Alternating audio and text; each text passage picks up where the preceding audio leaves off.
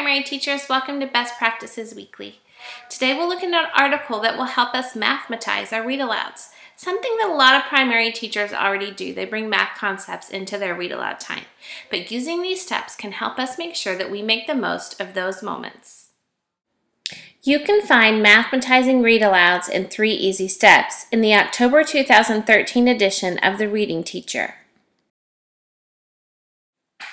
So I love that this article comes from the reading teacher because I think children's literature provides us as teachers a great opportunity to help students connect math and difficult math concepts to their lives. And it also can give students um, a visual of math concepts or a way to connect with math in a different way through storylines, through literature.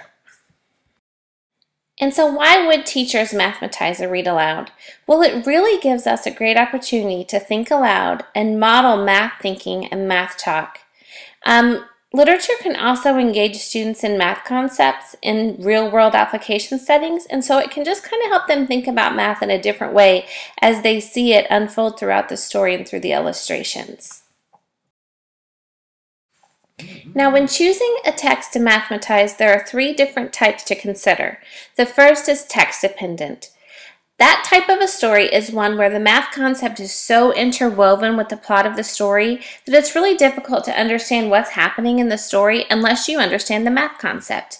An example of this type of story would be Two of Everything, where if you didn't understand that the magic pot was doubling everything and you didn't really have a grasp on doubles, it would be hard to understand the story. The next type of text you might have is an idea enhancing text, to where you don't really have to understand the math concept in the story, but it's something that teachers can pull out of the um, book to, to draw upon.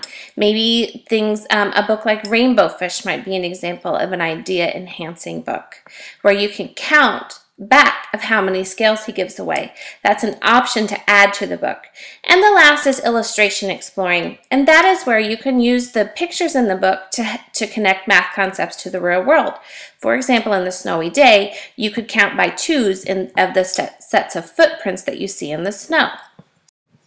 Once you've chosen a book to mathematize and you've decided what type of text you're working with, step two would be to explore the text.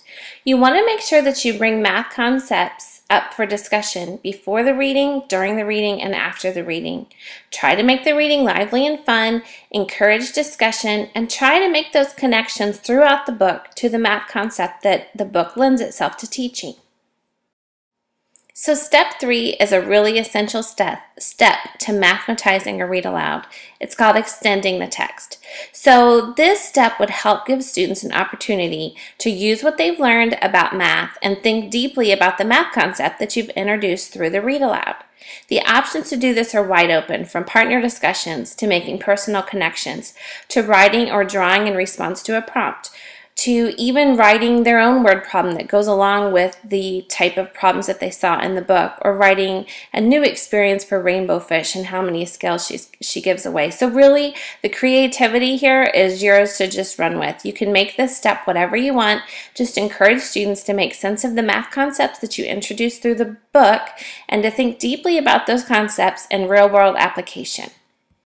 Okay, so I bet that you can't wait to go back and look through your classroom libraries, identify some type of text you can mathematize, talk about math concepts before, during, and after reading, and then also extend the text into some type of activity that helps your primary students think deeply about math.